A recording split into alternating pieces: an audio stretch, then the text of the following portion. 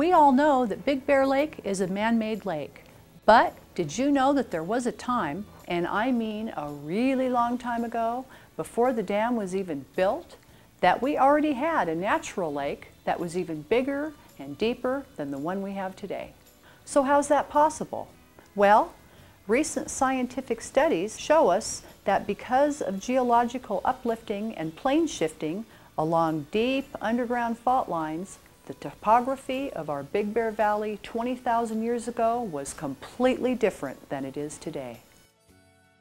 High water marks along the south shoreline show that Big Bear Lake was 65 feet higher back then, and that Big Bear Lake and Baldwin Lake were once combined to form one large body of water.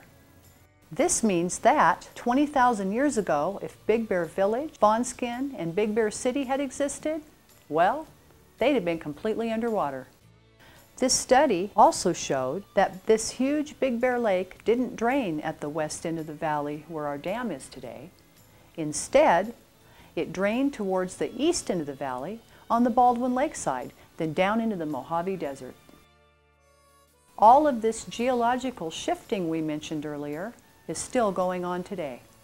So, you better hang on because Big Bear Valley, along with the rest of the mountains, are rising upward at about 3 inches every 10 years.